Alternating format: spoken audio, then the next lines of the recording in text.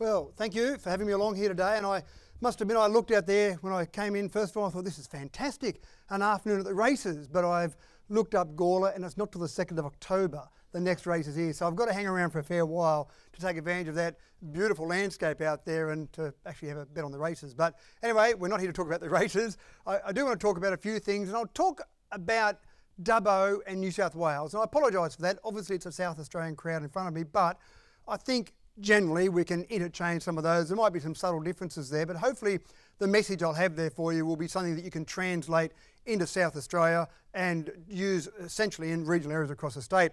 But before I do that, I want to talk about some movie misquotes. It's one of my bugbears when people don't get things accurate. And I don't want to get you to answer questions or yell out answers. I haven't got any prizes here to give you.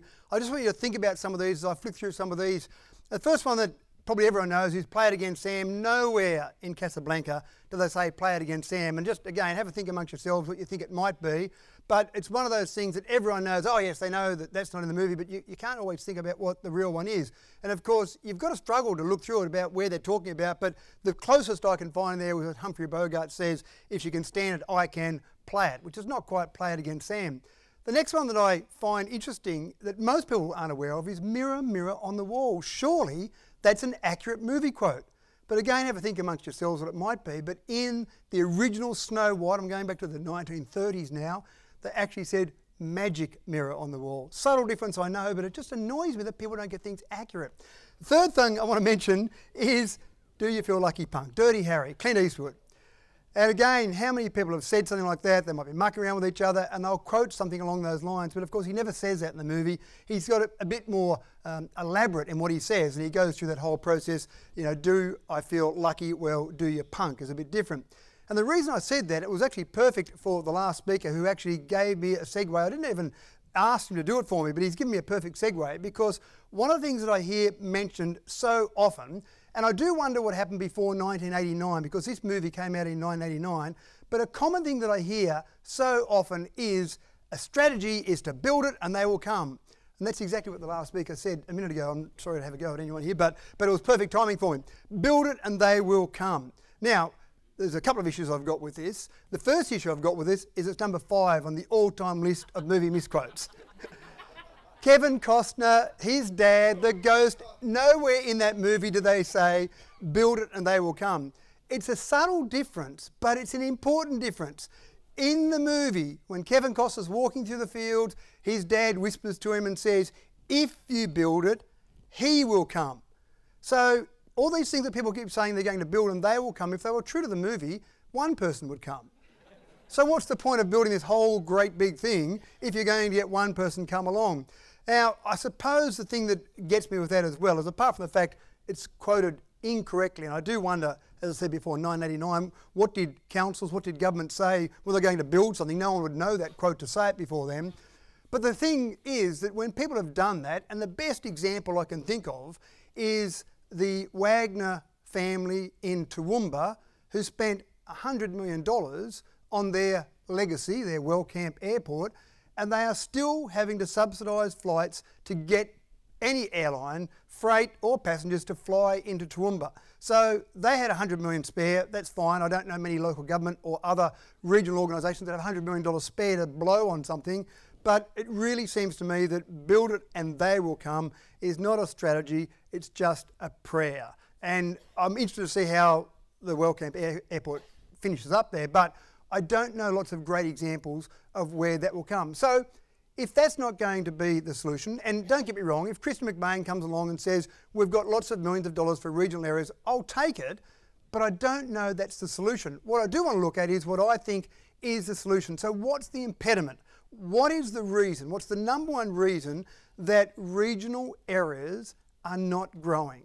Now, again, I don't want you to yell it out here. I hate when you go to a conference and people expect you to participate. You just want to sit there and listen. You don't want to have to actually go and do things. So, the number one thing that I think is plain and simple, and I'm being as polite as I can be to metro dwellers, any of that might be in the room, it's plain old fashioned ignorance. Now, I'm not saying that metro dwellers are stupid. I'm saying they're ignorant to what regional areas have to offer. And there's a big difference. So I'm not trying to be completely insulting and saying that everyone in the city is, is stupid, but they don't know what is on offer in regional locations. They don't understand. Where I am, many people just assume that you're farmers. I cannot count the number of people that have met me in Dubbo. They might meet the mayor or they might meet me in some other context and they'll shake my soft little hands. They've never done a hard day's work in their lives. And they say, How much land have you got? And I go, Well, you know, I, I've just got about 2,000 square metres. And you can see they're totally ignorant because they go, So what do you grow on that? And I go, Well, I've been growing kikuyu for a few years now. I am thinking about going to Buffalo though. It seems a bit better in winter. And you can see the confused look on their face and they're thinking, I know Kikuyu and Buffalo. I, I, wonder what he's talking about there. And finally, I say, I live in town. I've got a little house block of 2,000 square metres with some grass. That's all I grow. They just assume that everyone in a regional area must be a farmer. Taxi drivers run a million miles when I land at Sydney Airport because I love using taxi drivers as my little survey, my little ground truth. So I'll jump in and I say, why are you stuck here in Sydney? What are you doing in Sydney? Why don't you come to a regional location, say like Dubbo, for example? And so often they'll say, oh, well, I don't want to be a farmer, or you haven't got jobs out there, have you? Or do you have taxis out there? So they just don't know. And when you break it down and actually put some facts around it, I'm going to give some employment stats here in a moment. But one of the things here, again, this will be specific to Dubbo and New South Wales, but I'm sure you can apply something similar. When you look at that there, our number one employer is health and social services. Number two is retail. That blows people away from Sydney thinking retail. How could that be the number two employer? What would you have in Dubbo? What shops would you possibly have in Dubbo? Why would anyone need retail? When you go down that list there, you don't go very far down the list, yet to accommodation and food services. Now, if you look at that list there, you'll see that I've got Dubbo versus New South Wales there. So Dubbo's the, the blue and New South Wales is the orange. You'll see that accommodation and food and retail are both higher in terms of our employment than New South Wales. So for someone in Sydney, it's easier for you to get your almond latte with soy milk and some other crazy thing you want to put in your coffee and go down to the retail shops in Dubbo than it is across the average of New South Wales. And even when you compare the stats to Sydney City Council, our accommodation, food and retail are higher than in the centre of Sydney. So it kind of changes their perception a little bit. But how do you do that? I'm doing it one taxi driver at a time but I'm not sure that's going to really make a big difference to the population growth in regional New South Wales or in fact in Dubbo. So many years ago, 13 years ago in fact, actually it was longer than that ago, it was before I was mayor, way back in 2006, I remember we started discussing this idea of putting some sort of collaborative marketing plan together to try and work out a way to convince people in Sydney that there was something outside Sydney that maybe would be attractive to them. So it took a few years for us to get it together. We got some government mon money out of it, and we got seven cities across the state to join in on this program. And we called it EVO Cities, which stood for absolutely nothing. EVO stands for nothing. It just sounded like a cool name, and we're going to have cities in it, so let's go with Evo Cities. It just had to be a name that was different, obviously. So we created that back in 2010, started the whole process, and purely and simply, this was a marketing campaign. It was designed to do nothing else but market regional cities. Now, again, I know I'm talking about cities here, but there are towns in New South Wales who are now doing something similar on a smaller scale, but it can apply to any group of cities, and I would do it as a group because the money that I can get to spend as a group is much more impressive than me as an individual town or city. And when I'm trying to spend money in Sydney, so in your example, trying to spend money in Adelaide, it's hard to get a lot of cut through when you've only got the budget of one town or one location, for example, combine that money, and that's what we did. So we put our money together, combined that with some government money. We ended up with about a million dollars of marketing funds, with wasn't a lot of contribution from Dubbo. So we had about $50,000 contribution to get a million dollars worth of marketing. So we did it as a marketing campaign. We did some market research first of all, and we found that people didn't want a tree change they still had this idea that they'd go to a regional area, there'd be clods of dirt, and they'd have to come back to Sydney on a regular basis to do their supermarket shopping. We had, I went and did a talk to a group of GP registrars one time. This is a group, mind you, that has finished their medical degree. They've done their internship at least a year at a hospital. They've, they've actually spent two years in hospital after their medical degree, and then they're going out as a GP registrar. So they've got a few years and a bit of experience. And I talked to one group one time and I said, What's your first impression of Dubbo? And one guy said, I was pretty happy that I didn't need to use all the two minute noodles that I brought with me because I found them in the supermarket. It's like, really? You didn't think you'd get two minute noodles? I'm not going to you as a patient, definitely, if that's the best you can come up with. So a lot of it was they wanted a city change. We did some A-B marketing, for example, and we found that when we put pictures of coffee shops, restaurants, main streets, the click-through rate was quite good. When we put pictures of open paddocks, lovely race courses, for example, open air, things that you might think are attractive in regional areas, we didn't get a very good click-through. People in Sydney want to know they can still get a meal or have a coffee or go to the cinema, something that they can do in Sydney, but maybe do it in a slightly better way. So that was a really important part, getting that. We did, as I said there, the, the images of modern cities, and we really focused on the negative. Now, it sounds bad to focus on the negative, but when I say negative, it was the pain factor. What are the things that are painful about living in Sydney, in our example? What are the things that really annoy and frustrate people? Let's focus on that and show people we've got a solution. So we didn't show pictures of beaches because we didn't really think we could compete with Sydney on beaches, but we definitely could compete on some other areas. And then it was all about educating the metro dwellers. So how do we do that? I'll show you a couple of little ad, static ad campaigns, a little video in a moment to show you the, some of the ways we did that. And again, it's fairly simple marketing, but really about focusing on those pain points. So on motorways where people would spend 40 minutes to an hour on their way to work each day, we put billboards up that showed a picture of a congested city, as you can see there, versus a very open regional area. And again, pretty simple, goodbye peak hour. It doesn't say too much, it just says enough for people to go, what's that about? What we did find, and actually I'll show you when I do the employment, I'll talk about that when I do the employment. We put it on the back of buses just to show that congestion there. We put it at railway stations because you don't need to catch a train to get to work in Dubbo. You can just walk if you want or drive a car. So that's pretty simple. And then in other areas. So Western Sydney at the time was having some huge housing stress for people not being able to get into their houses for anything that was uh, vaguely affordable for anything bigger than an outhouse, I think, and show them the alternatives they might have out in regional areas. And I'll show you a little ad we ran as well. This is just a little video which hopefully sounds...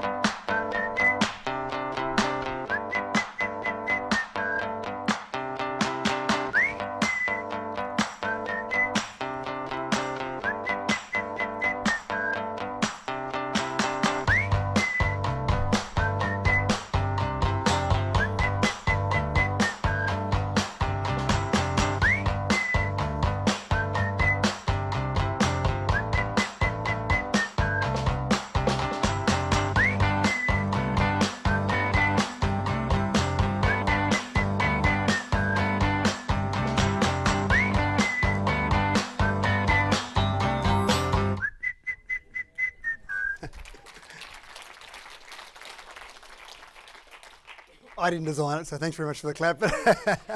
but again, pretty simple, pretty simple graphics, just really capturing the pain point there. So, what we found when we actually got the stage of people moving, it had an impact, but there was a lag. So let's show you the population graph of Dubbo, for example, versus New South Wales. So that's the annual population growth year by year over the last 10 years. Now again, the orange, which starts off on top, is New South Wales, so it's going along, bouncing around between about 1.1 and 1.5%. You'll see Dubbo down as low as say 0.7%, started to pick up, and I'll get to the pandemic in a minute because the pandemic was positive for regional areas in New South Wales, but what we found was all the marketing we were doing was taking at least a year to actually come to fruition. Because when someone finally on the way, on the motorway, or at a train station, they finally go, ah, I'm over this, I've got to get out of this place. From that time that they make up their mind, we found it was a minimum of 12 months to two years to actually make the move. Because the first thing they had to do was like, oh, I'm sick of this. I need money. I need a job. Right, I'll go and look for a job. So they need to find a job. Then they need to find a house. Then they might have had kids or a partner. What's their partner going to do? The kids might need to get into schools, they might finish the school year. So it's a fairly long lead time from the time that you make the decision to the time you actually finally make the move. What we did create out of this was another website called Evo Jobs because our survey showed that about 94% of people that made the move waited till they found a job before they made a move. Makes sense. I want to be able to afford to live in Dubbo.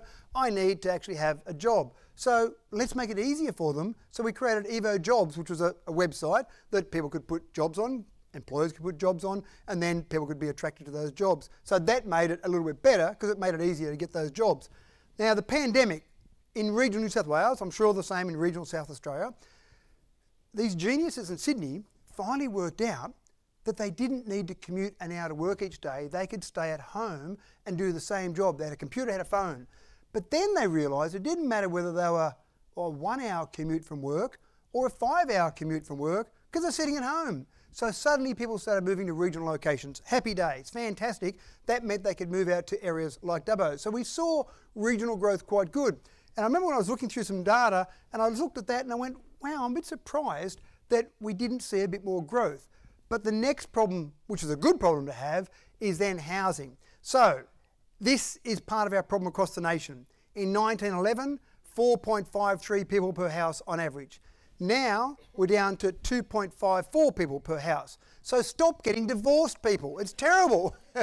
if you looked at that and your population didn't grow, you would need almost double the housing compared to what you would need with those different population stats. Now, people are having less children, people are getting divorced, people are choosing different options. So part of our problem was that more people were moving. We grabbed a bit of that movement earlier on, and then when the pandemic hit, we just had not enough housing to accommodate them all.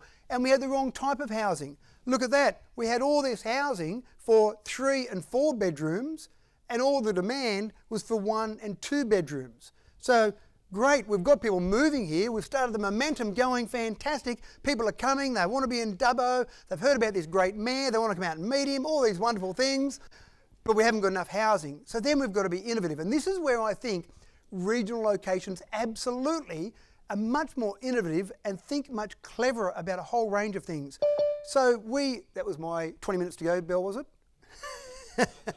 That was just a random bell. oh, good, 30 minutes to go. Excellent. Yeah, right. Um, so we, um, we thought we'd better get innovative. So in some future releases of land, we allocated specifically four blocks to start with that only a 3D printed house could be built on.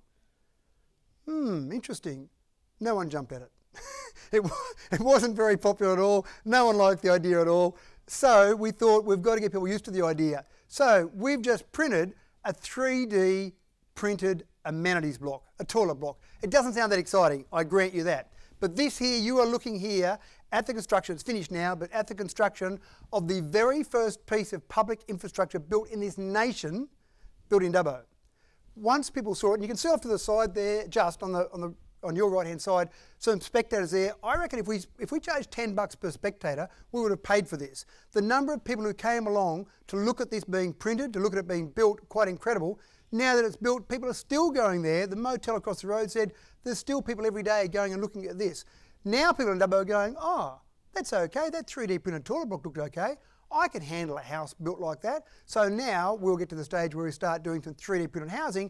I've already talked to our housing minister in New South Wales. I've talked to Kristy McBain about it as well and Catherine King, but more our housing minister in the state to say maybe this is a bit of a solution for the housing crisis that we find ourselves in across the nation. Let's get houses printed quicker. My daughter happens to be an architect and she said, she, she works at Sydney University and she said her bosses, her superiors heard about this didn't know my daughter's from Dubbo, love the idea because architects are great at drawing nice curvy lines until a builder looks at it and says, how am I meant to build that? No better example than the Opera House. The design looked fantastic, but someone then had to build it and make it stand up. So with 3D printing, you can build basically whatever design you want. So I'll finish off with a quote that I've stolen that wasn't about regional cities, but I have stolen it ever so slightly. You may recognise this, but I think it applies to regional cities. To be twice as impressive, you, sorry, we must be twice as impressive to be seen as half as good, and luckily, that's not very difficult for us to do. You recognise that quote? No, it was applied to females. There was a quote about females. females, uh, something along the lines of the same thing, that they need to be twice as impressive to be considered half as good as a man. Luckily, that's not very difficult. Rightio, so thank you. I'm done with 40 seconds left on the clock. Thank you very much.